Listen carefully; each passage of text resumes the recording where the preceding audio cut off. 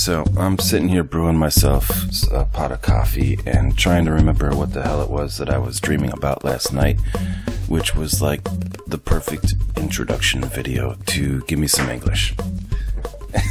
and I can't remember any of it, except that uh, it was going to be awesome. So I'm just sitting here talking, and so is my coffee machine, um, hoping that the ideas will come out.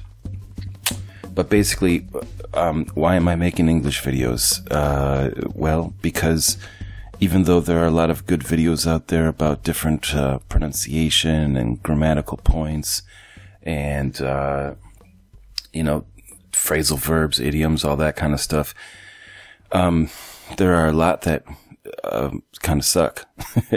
Uh, and when I'm trying to find these types of resources for my students, um, sometimes I just can't uh, because they don't exist, or there'll be a good video uh, that has a lot of really good information, and then one thing that the person says in the video is something that I completely disagree with. And um, usually, these types of things are uh, points of information that are fairly common to give as far as teachers and textbooks, but it's information which seems like nobody has ever really thought about the fact that it is wrong. Yeah. Um, so I'm that guy because, uh, I, I don't know. Uh, maybe it's because I never got an English degree and this allows me to see things in a different way. I haven't been indoctrinated by the proper methods of teaching grammar and all that stupid shit. And so, uh, when I started teaching English after I got my certification to do so, and uh, I started using the different resources and textbooks that are available for teachers to teach the lessons, uh, I started realizing that there is a bunch of stuff in these textbooks and a bunch of practices that teachers do that really makes absolutely no sense. And it's right there in front of everybody's face, and it's almost as if nobody sees it.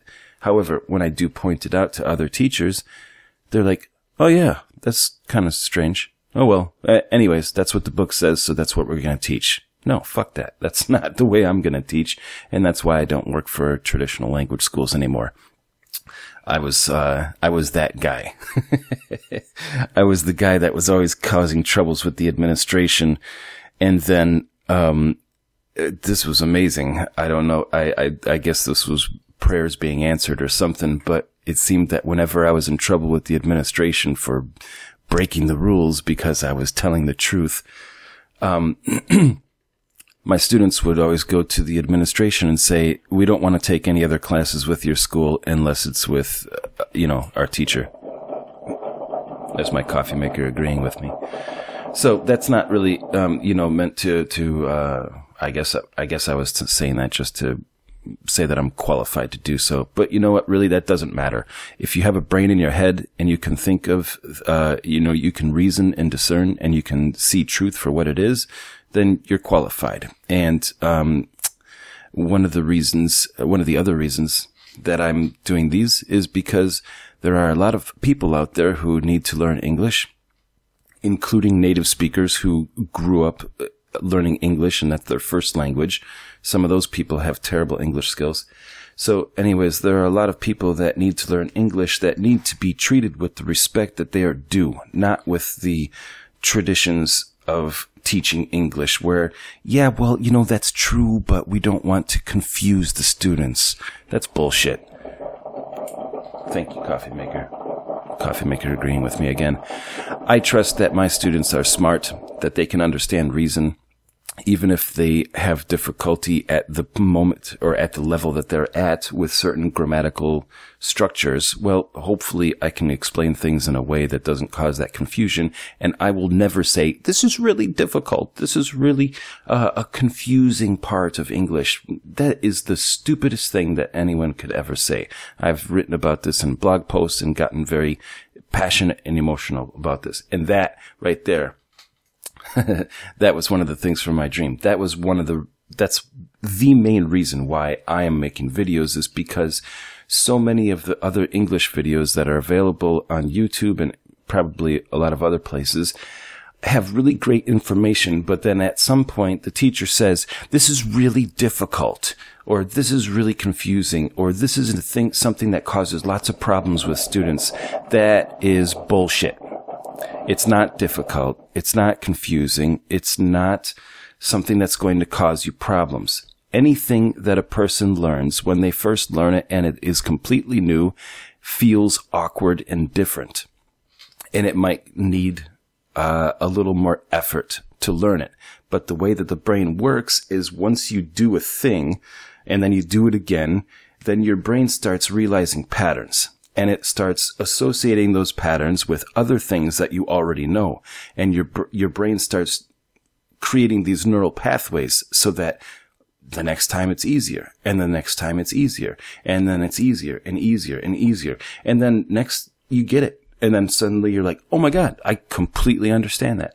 And that's what happened with me with teaching grammar. Cause I'll tell you what, there are a lot of English teachers out there,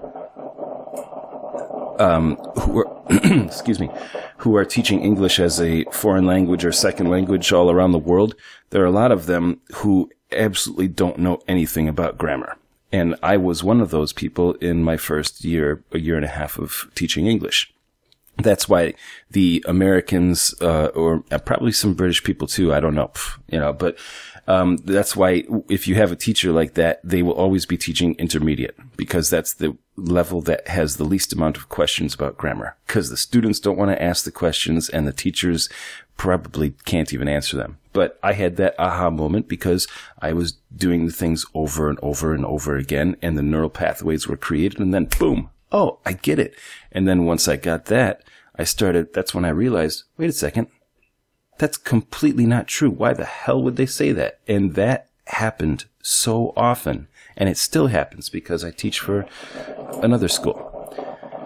And the materials that they give me to teach, some of them is just ridiculous. So anyways, that's what I'm here for. I guess this is kind of my introduction video.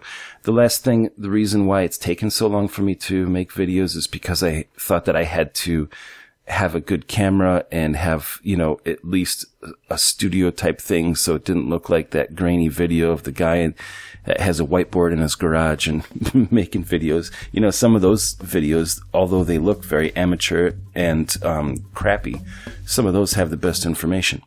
But there are plenty of other people on here that are killing it on YouTube without ever showing their face.